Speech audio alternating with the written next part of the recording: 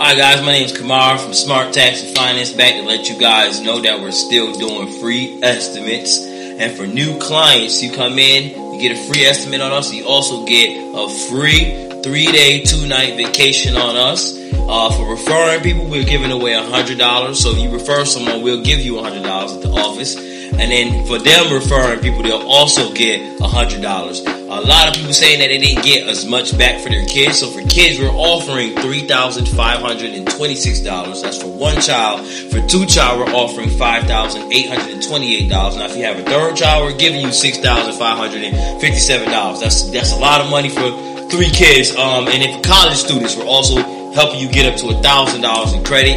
Uh, if you have, you're trying to get your credit repaired, we do free credit repair consultation. We also do notary.